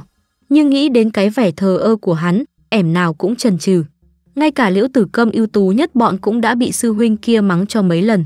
Chỉ có điều, bà chị này hình như mang dòng máu mờ, không bị Giang sư huynh mắng thì ăn cơm không ngon. Nàng ta thậm chí còn ước bị trà đạp vài lần nữa cho đã cái nư. Đu idol kiểu này tôi cũng không biết nói gì hơn, giới trẻ dạo này kỳ lạ quá. Đám sư muội mặc dù cũng rén thay đương sự, nhưng thà có đứa đứng ra gánh tim vẫn còn hơn. Liễu Tử Câm hít một hơi thật sâu, bẽn lẽn bước đến bên sư huynh. Quả nhiên hắn vẫn vô cùng lãnh đạm, nói thì nói vậy chứ bị mấy em gái xinh tươi mè nheo vài lần thì ai mà chẳng siêu lòng. Giang Bắc Nhiên không trực tiếp chỉ cho nàng, nhưng lại ném cho nàng ta một quyển sách gợi ý. Liễu Tử Câm không hổ danh là nữ đệ tử thông minh xinh đẹp có tiếng của Quy Tâm Tông. Nàng ta đọc phát là hiểu ngay, tiếp theo liền dẫn cả đám đến thẳng tập phú thôn. Đám sư muội thấy nàng ta ưu tú nay càng ưu tú hơn thì vô cùng ngưỡng mộ, khi biết là nhờ cuốn bí kíp võ công kia của Giang sư huynh thì ẻm nào cũng nhao nhao đòi xem. Chẳng hiểu sao mà trong đầu Liễu Tử Câm luôn đinh ninh rằng cuốn sách này rất mực quý giá, chắc chắn do vị sư huynh idol của mình biên soạn ra. Tập Phú Thôn chính là đích đến của chuyến công tác lần này. Có tin đồn rằng trẻ con trong đó mất tích lần lượt, khiến lòng dân dối bời không được yên. Giang Bắc Nhiên quay sang hỏi đám tiểu sư muội nếu gặp loại chuyện này thì nên làm thế nào. Phương Thu Giao không bỏ qua cơ hội tạo nét trước mặt hắn. Nàng ngay lập tức sung phong lên trả lời, biết người biết ta trăm trận trăm thắng. Đầu tiên chắc chắn phải vào thôn bật mút cỏ năn dò xét tình hình, mới có thể hiểu rõ thế cuộc đang như thế nào, phần thắng nằm trong tay là bao nhiêu. Phương Thu Giao trả lời với một phong thái vô cùng tự tin khiến cho ba vị tỷ muội nhà họ ngu đứng một bên cũng phải tán thưởng, nhưng Giang Bắc Nhiên nghe xong chỉ muốn lắc đầu. Mấy vị sư muội này nói ngốc thì không ngốc, đáng tiếc còn quá ngu ngơ. Theo hắn làm như thế là đánh rắn động cỏ. Tập phú thôn gần đây thường xuyên có trẻ em mất tích, thậm chí vẫn đang xảy ra không ngừng, chứng tỏ thủ phạm vẫn đang ở gần đâu đó, hoặc là mai phục sẵn trong thôn. Một khi phô trương đi hỏi, ngược lại càng làm lộ thân phận của mình, để thủ phạm nghe được sẽ hành động cẩn thận hơn, thậm chí tạm ngừng gây án. Như vậy chỉ thiệt cho phe ta. Mấy lời này đối với đám sư muội giống như trích dẫn lấy từ trong sách tham khảo ra vậy, vô cùng chí lý, ai nghe cũng phải gật gù. Theo Giang Bắc Nhiên, cả đám vốn dĩ không cần mất sức đi điều tra, chỉ cần xài kế vườn không nhà trống, đợi cho thủ phạm tiếp tục ra tay rồi tóm lấy sợi dây manh mối đó. Đêm xuống tập phú thôn vô cùng tĩnh lặng, chỉ thấy có một bóng đen thân thủ vô cùng nhanh nhảy qua tường rào vào một căn nhà lớn. Chưa đầy 5 phút sau hắn đã nhanh chóng trèo ra, trên tay còn bồng một đứa bé vẫn đang say giấc. Giang Bắc Nhiên và các tiểu sư muội dĩ nhiên đã mai phục ở đó từ trước. Trông thấy màn này, cả đám tức tốc đuổi theo. Nhưng chẳng hiểu sao vừa vào đến rừng đã mất hẳn dấu vết. Khí tức của tên đó giống như bị bay hơi vậy. Giang Bắc Nhiên ngay lập tức nhận ra điều bất thường. Nhìn đi nhìn lại, bọn họ có lẽ đã lạc vào một trận pháp nào đó rồi. Đám tặc nhân này lợi hại đến mức còn tạo ra được trận pháp, chứng tỏ không phải người bình thường. Phương Thu Giao nghe đến đây đột nhiên thốt lên. Nếu bọn chúng có thể dễ dàng thoát khỏi trận pháp, vậy chúng ta chỉ cần tìm được đường cũng có thể ra khỏi nơi đây. Giang bất nhiên nghe xong gật gù, thật đáng mừng vì cục tạ này cũng không hẳn là não tàn. Mà biểu cảm này của hắn cũng khiến Phương Thu Giao vô cùng hưng phấn, thì ra sư huynh mặt lạnh cũng có lúc biết khen người khác. Cả đám nhanh chóng chia nhau ra tìm kiếm, tặc nhân lần này không chỉ biết kỳ môn độn giáp mà còn biết bày binh bố trận, cụ thể là nhiếp tâm trận tiểu lục thừa. Nhưng đáng tiếc cho kẻ răng ra cái bẫy này, đây vốn là một trận pháp không hoàn chỉnh. Xem ra kẻ đó vẫn còn non và xanh chán. Giang Bắc Nhiên tiện tay nhặt một cục đá nhỏ bên đường lên, nhắm chuẩn một vị trí chủ chốt mà phóng tới. Phốc một tiếng, thân cây chỗ bị ném đá đột nhiên phát nổ tưng bừng làm một cô nàng của ngu ra giật mình thẳng thốt, hai tay ôm chặt lấy đầu mà ngồi thụp xuống đất. Sư huynh mau cứu ta, có kẻ chơi ám khí. Cứ tưởng sẽ được Giang sư huynh để ý tới một chút, không ngờ hắn cũng chỉ lạnh nhạt trả lời ba chữ không sao đâu. Nàng ta tức đến mức muốn đi đường quyền, vừa rồi rõ ràng lực công kích rất mạnh, nếu đánh trúng người thì bay màu như chơi. Cũng chả biết kẻ ác ôn nào ra tay, hắn và tên sư huynh vô tình kia của mình cũng y chang nhau, đều là một lũ đầu đất. Sau khi để tiểu sư muội kia kịp bình ổn lại tâm lý, Giang Bắc Nhiên không biết đào đâu ra một cái chuông nhỏ hình thù dị hợm lắc lên vài tiếng. Thì ra đây chính là tiểu xảo tên gọi quỷ đòi mạng trong truyền thuyết. Nhưng đem thứ này ra quả thực đã dọa cho mấy em gái mới dậy thì sợ đến hết hơi. Nhìn Phương Thu Giao ngày thường miệng lưỡi sắc bén, khẩu khí cũng lớn, bây giờ lại mặt mày xanh lè còn chắp tay thành khẩn thiếu điều muốn khóc, Giang Bắc Nhiên suýt chút nữa thì cười đến phụt cơm. Con gái đúng là giống loài khó hiểu nhất trên đời này mà. Còn khó hiểu ngay dưới con gái một bậc chính là thứ mang tên hệ thống. Đúng lúc này, trước mắt Giang Bắc Nhiên lại xuất hiện ba lựa chọn bất ngờ. Lựa chọn một, nắm tay nhau thật chặt, giữ tay nhau thật lâu, nói với Giao một câu, baby đừng sợ, em cute vãi linh hồn. Lựa chọn 2, à ừm, trên đời này làm gì có quỷ, chỉ có anh đây thôi. Lựa chọn 3, Phương Thu Giao cái con gà này, lá gan nhỏ xíu như vậy thì làm sao hành tẩu giang hồ. Giang Bắc Nhiên thậm chí không còn chút cảm giác bất lực nào. Hệ thống này năng lực có hạn nhưng sự khốn nạn thì vô biên. Hắn bày ra một vẻ mặt vô cùng hài cốt chỉ vào Phương Thu Giao cười một trận cứ như bị đứt dây thần kinh tự chủ, làm nàng ta tức anh ách nhưng chẳng làm được gì. Bật đèn bật quạt bật xếp thì được, chứ ai mà nỡ bật idol trong lòng mình đúng không? Ba tỷ muội nhà họ ngu bấy giờ vẫn đang rất chăm chỉ dò tìm đường, chỉ là cảm thấy mình như gặp ảo giác. Các nàng nhìn đi nhìn lại, không hiểu vì sao một hồi cảm thấy chóng mặt vô cùng. Trận pháp này giống như tẩm đá vậy, bước vào là thấy phê pha, cuối cùng là ngã sóng xoài bất tỉnh nhân sự. Tuy nói trận pháp này là đồ tào lao bí đao, nhưng đối với các vị muội muội tu vi thấp kém vẫn có tác dụng vô cùng rõ ràng. Giang Bắc Nhiên thở dài, vậy là lại phải gánh tim rồi. Hắn chọn một tư thế nghiêm túc nhất bắt đầu lẩm bẩm tụng niệm, ngay lập tức trong tay xuất hiện một luồng khí tức hình càn khôn bát quái. Theo từng động tác của Giang Bắc Nhiên, trận pháp dần nở rộng ra, đến khi hắn hét một chữ phá thì bao nhiêu uế khí cũng đồng loạt biến mất. Phá trận xong, Giang Bắc Nhiên cẩn thận quan sát xung quanh, nhặt được một khối linh thạch hạ phẩm màu vàng. Làm đạo tặc dạo này có vẻ nhàn và giàu có phết.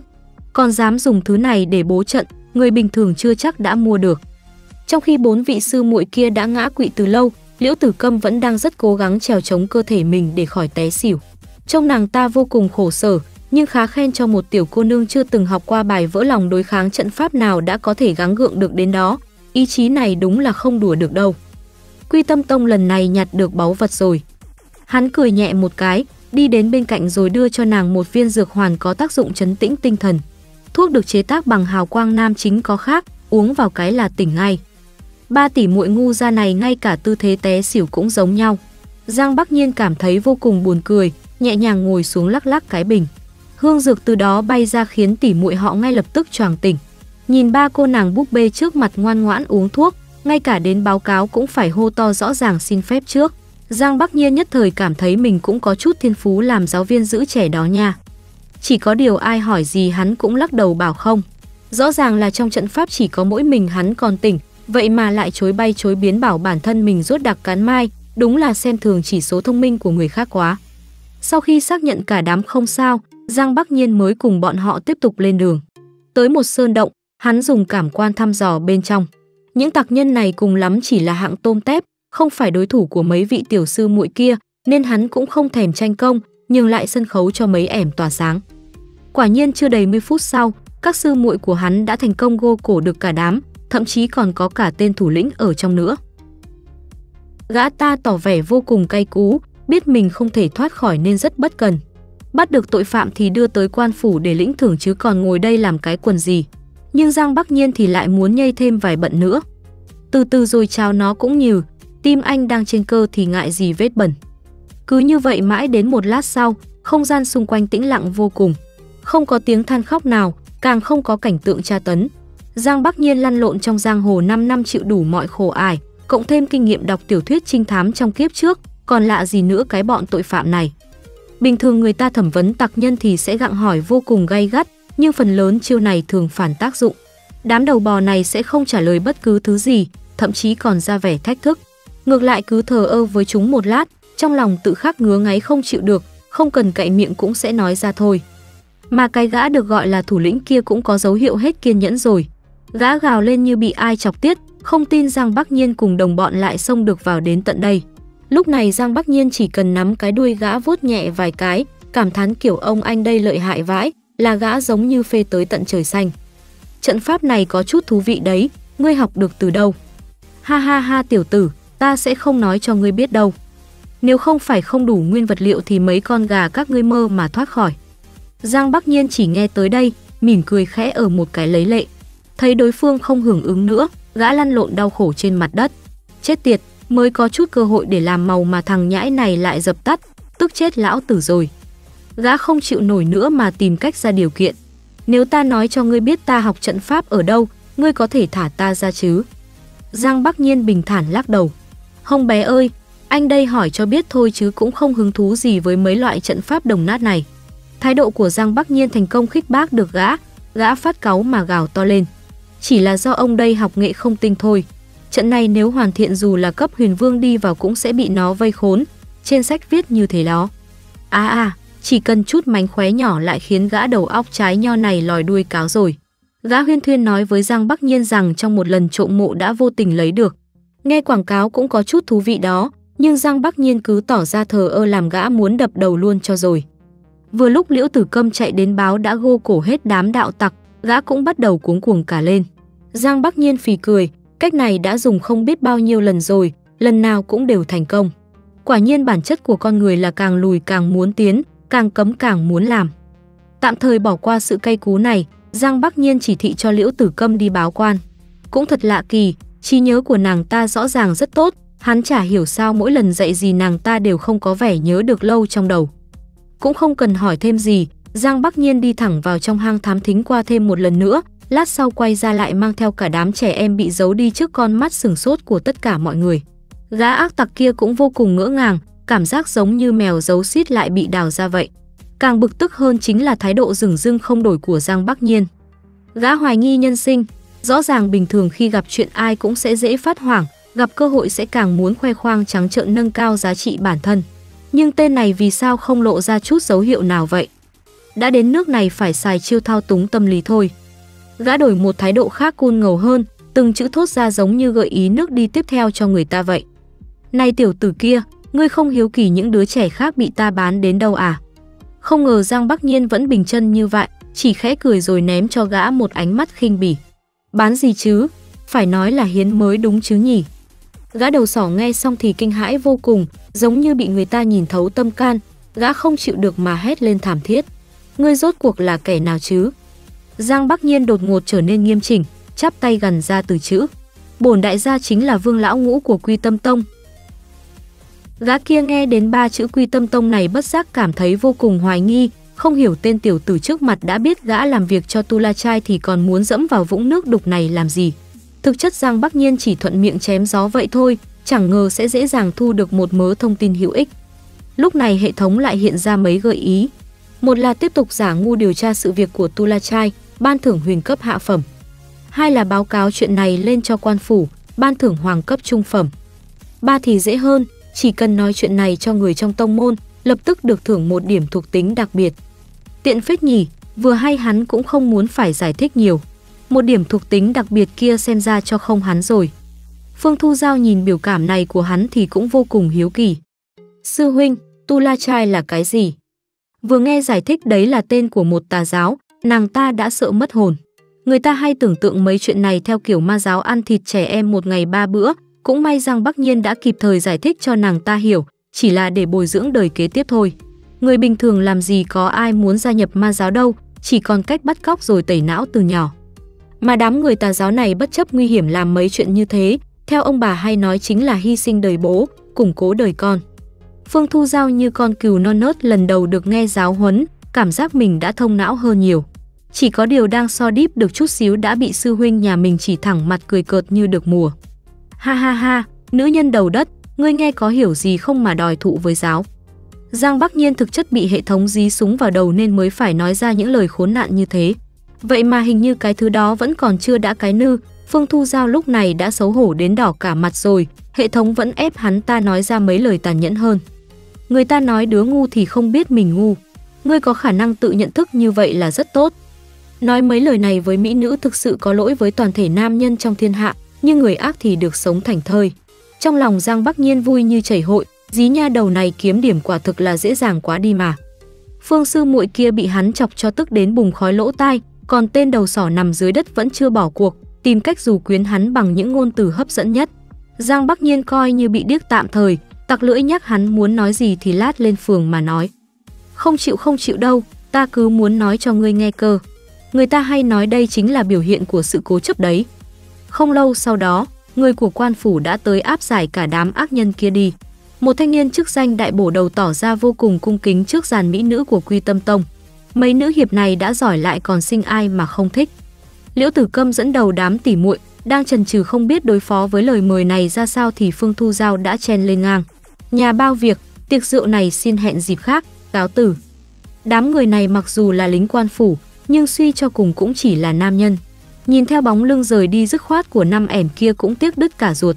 Mặc dù không được nhìn thấy mặt nhưng trông cái dáng nuột nà ba vòng bốc lửa đó cũng đủ khiến người ta tương tư rồi. Ngay cả tên đại bổ đầu lúc nãy bề ngoài thì tỏ ra chính trực, thực chất trong lòng cũng mê mẩn cái nét dịu dàng chết người của Liễu Tử Câm. Thực ra ban đầu Liễu Tử Câm cũng không có ý định từ chối thẳng thừng như thế. Nàng ta thậm chí còn trách sư muội Thu Giao của mình không biết nắm bắt cơ hội làm thân với quan triều đình. Nhưng Phương Thu Giao thực chất chỉ một lòng ghi nhớ lời dặn của idol Giang sư huynh của mình. Dù sao động tới quan trường thì giống như chơi trò chọc chó ở Đông Lào vậy. Lúc đầu không mảy may nguy hiểm, nhưng chẳng biết bao giờ bị dí chạy tụt quần không kịp. Mấy cô nàng này thực chất chỉ là chiếu mới, chưa biết giang hồ hiểm ác cỡ nào, mặc dù trong lòng nghi hoặc nhưng vẫn phải ngậm ngùi nghe lời sư huynh. Tối hôm đó cả đám không quay về quán trọ mà quyết định cắm trại ngay trong rừng, tiện thể làm quen với mức độ khắc nghiệt của thiên nhiên. Đám sư muội nghe đến đây tưởng tượng mình sắp được tham gia hội trại quây quần bên nhau các thứ, chỉ là sau một canh giờ vẫn không dựng nổi cái lều để ngủ thì bắt đầu thấy nản. Nghĩ tới vị Giang sư huynh như cuốn bách khoa toàn thư đang ngồi ở đằng kia, cả đám nảy ra ý định đánh liều qua hỏi thử. Mọi lần những chuyện này đều do Liễu Tử Câm sung phong đi đầu, nhưng lần này các sư muội của nàng ta chẳng hiểu sao lại có vẻ tranh giành nhau. Liễu Tử Câm trước giờ vẫn luôn giả ngu để được gần gũi sư huynh hơn, mặc dù thông minh trời phú nhưng vẫn cứ tỏ vẻ không tiếp thu thật ra là có ý đồ cả. Vậy mà lần này lại bị hớt tay trên, nàng ta vừa buồn cười vừa bất lực. Cơ hội được nghe giáo huấn này xem ra phải nhường lại cho vị sư muội họ ngu kia rồi. Đúng là mê trai thì đầu thai mới hết. Nhờ có mấy gợi ý của Giang Bắc Nhiên, cuối cùng các nàng cũng đã dựng cái lều xong xuôi, bây giờ đang ngồi quây quần bên bếp lửa cùng một nồi thức ăn vô cùng lớn. Xem ra Giang sư huynh này ngoài việc đẻ ra thì cái gì hắn cũng làm được, mà có khi hắn còn có cách đẻ được luôn ấy chứ. Hắn tài giỏi thông minh như thế, các sư muội ai ai cũng nể phục mấy chục phần. Ăn uống xong xuôi, Giang Bắc Nhiên để cho bọn họ vào lều nghỉ ngơi. Nhưng câu chuyện tám nhảm đêm nay của bọn họ chỉ xoay quanh rốt cuộc vì sao sư huynh kia lại phá được trận pháp, còn chối bay chối biến như thể ngu ngơ không biết gì. Quy tâm tông của bọn họ được chia thành nhiều phân nhánh, chuyện trận pháp này nọ vốn do tinh la đường phụ trách. Thủy kính đường của các nàng cũng chỉ chuyên dạy duy nhất âm luật. Ngẫm lại thì Giang Sư Huynh chỉ là đệ tử của Lam Tâm Đường, lại có vẻ vô cùng tinh thông từ theo thùa, y thuật, luyện đan, điều hương, trù nghệ, trận pháp, cái gì hắn cũng biết. Một kẻ bá đạo như này lẽ ra phải sớm nổi danh như một idol giới trẻ chứ. Vì sao lúc trước trong tông môn hắn lại mờ nhạt tối tăm còn hơn cả tiền đồ của chị dậu? Để kiểm chứng điều này, Liễu Tử Câm nhanh trí thay mặt hội chị em của mình ra khỏi lều tìm cách bắt chuyện với Giang Bắc Nhiên.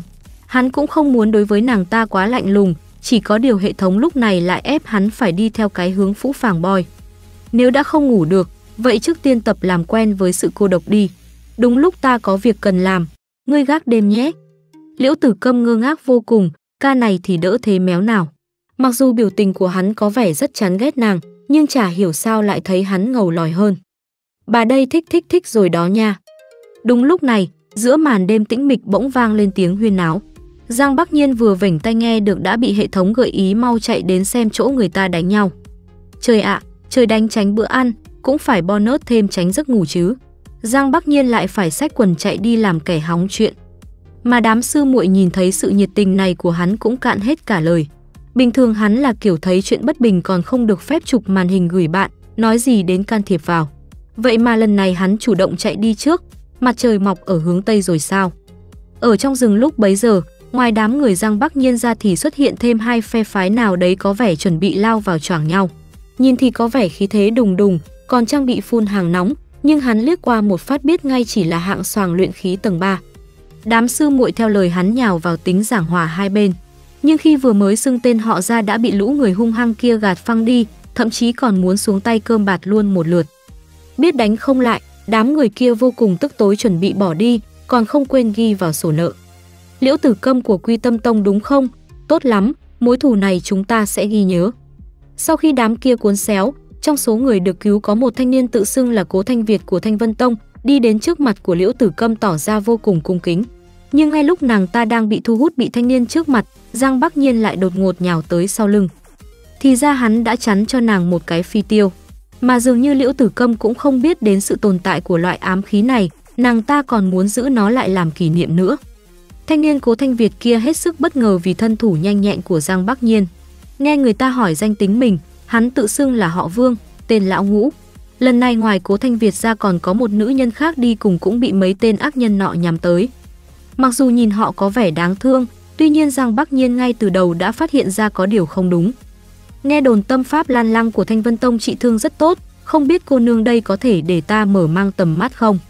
Hai người kia nghe đến đây bỗng giật nảy mình một cái, còn lắp bắp thừa nhận mình không giỏi tâm pháp lan lăng này, không tiện sử dụng để mất mặt tông môn.